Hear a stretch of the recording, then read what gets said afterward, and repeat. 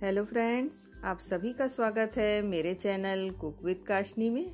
आज मैं लेकर आई हूँ बिना पकाए साबूदाना और आलू के पापड़ की रेसिपी जी हाँ ये एकदम झटपट से बनने वाले पापड़ हैं। तो चलिए इन्हें बनाना देख लेते हैं। अगर आपको मेरे वीडियोस अच्छे लगते हों तो लाल सब्सक्राइब का बटन दबाएँ। बराबर में जो ये बेल का आइकन है उसे दबाने से आपको मेरी रेसिपी सबसे पहले फ्री में देखने मिलेगी। वीडियोस अच्छे लगें तो थम्स अप दें। सबसे पहले एक भगोने में 250 ग्राम साबूदाना ले लें। इस साबूदाने को दो से तीन बार साफ़ पानी से धो लेना है। ऐसा करने से साबूदाने का सारा कचरा निकल जाएगा। तो साबूदाने को मैंने अच्छी तरह से साफ़ धो लिया है। अब इस साबूदाने में पानी डालकर भीगने रख देना है। तो साबूदाने में आप आधा इंच ऊपर पानी डाल लें और छः से आठ घंटे के लिए इसे भीगने दें। छः से आठ घंटे हो चुके हैं। साबूदाना एकदम अच्छी तरह से भीग चुका है। साबूदाने के दाने एकदम फूल चुके हैं। अब इस साबूदाने में एकदम गरम, खोलता हुआ पानी ऐड करना है। तो आप साबूदाने से दो इंच ऊपर गरम पानी डाल लें। यहाँ ये भगोना मुझे छोटा लग रहा था, इसलिए इसे मैंने बड़े भगोने में ट्रांसफ़र कर लिया है। इस साबूदाने को आठ से दस घंटे के लिए भीगने देना है। इसीलिए आप इसे एक बड़े भगोने में करें, जिससे ये अच्छी तरह से भीग जाए।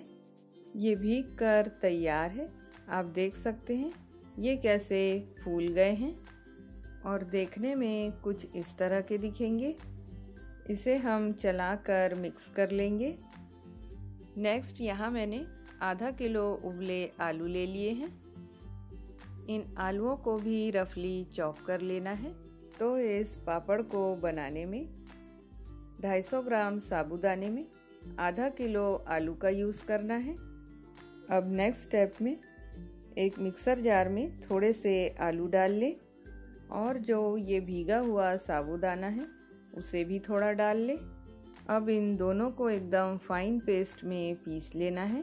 पीस जाने पर ये एकदम स्मूथ बैटर की तरह बन जाएगा। इसमें कोई भी लम्स नहीं रहने चाहिए। इस बात का आप ध्यान रखें।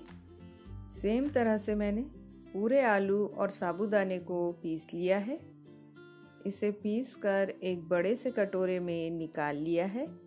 अब इसमें स्वाद के अनुसार नमक, और यहाँ मैं काली मिर्च का पाउडर ऐड कर रही हूँ। आप इसके जगह हरी मिर्च की पेस्ट भी डाल सकते हैं। नमक और काली मिर्च को भी मिक्स कर ले। अभी ये बैटर काफ़ी गाढ़ा है तो इसमें गर्म पानी ऐड करेंगे। ध्यान रहे, इस पापड़ में सिर्फ़ गर्म पानी ही ऐड करना है। पानी डालकर इसे मैंने अच्छी तरह से मिला लिया है। आप इसकी कंसिस्टेंसी देख सकते हैं। पापड़ बनाने के पहले इसे हम एक प्लेट पर चेक कर लेंगे। तो बैटर डालकर उसे हल्का सा फैला लें। ये ना ज़्यादा गाढ़ा, ना ज़्यादा पतला होना चाहिए। चलिए अब फटाफट से पापड़ बना लेते हैं। तो आप कोई भी साफ़ प्लास्टिक लेकर एक एक करके पापड़ बना लें। ये साबुदाना आलू पापड़ एकदम कम मेहनत में बनकर तैयार हो जाते हैं। और इन्हें बनाने में कोई भी कुकिंग करने की ज़रूरत नहीं है। पापड़ बन चुके हैं। इन्हें धूप में दो दिन के लिए सूखने दें। साबुदाना आलू पापड़ सूख कर रेडी है। आप देख सकते हैं, क्या बढ़िया बनकर तैयार हुए हैं। एकदम कांच की तरह ये चमक रहे हैं। आइए, इन्हें मैं फ्राई करके दिखाती हूँ। तेल में जाते साथ ही पापड़ फूल जाते हैं। देख सकते हैं कितने सफ़ेद और एकदम परफेक्ट बने हैं। आप इनकी आवाज़ सुन सकते हैं। ये कितने ज़्यादा क्रंची बने हैं। तो देखा आपने, इस साबुदाना आलू के पापड़ को बनाना कितना आसान था। इन गर्मियों में आप भी इन्हें बनाकर ज़रूर स्टोर करें।